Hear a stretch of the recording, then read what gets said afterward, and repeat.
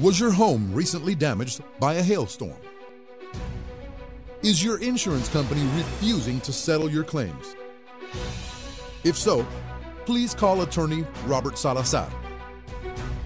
682 1017.